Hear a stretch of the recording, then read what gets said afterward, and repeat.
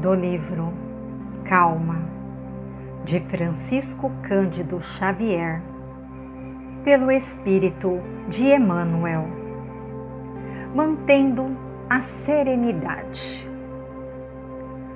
Consideremos que existem atitudes e assuntos que preservam o equilíbrio e a serenidade do grupo de criaturas a que pertençamos na Terra como já se dispõe no mundo de vacinas diversas que fazem a defesa da saúde humana.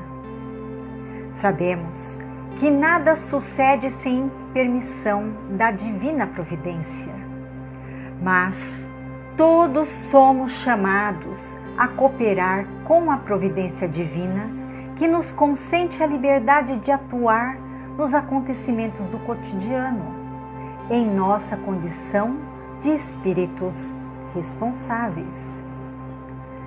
Saibamos arredar da nossa influência pessoal o que seja claramente desnecessário à sustentação da paz no campo dos outros.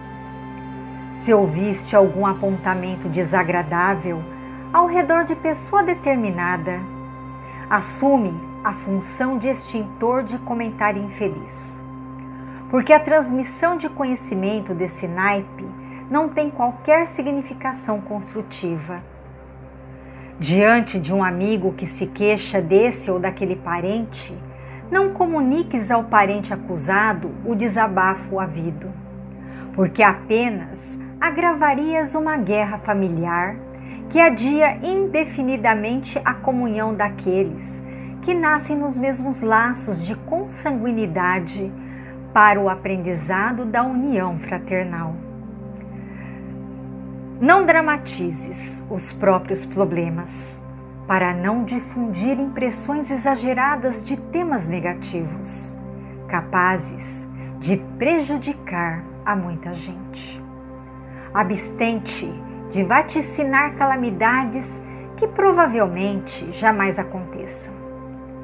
Protege-te contra o veneno dos boatos aprendendo a ouvi-los e esquecê-los.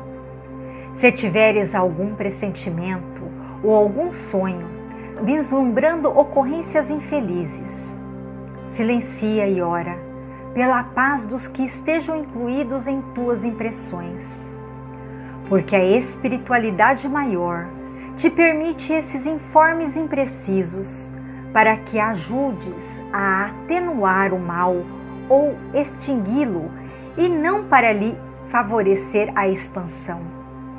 Recorda, em muitos lances difíceis da vida, a serenidade dos outros depende exclusivamente de nós.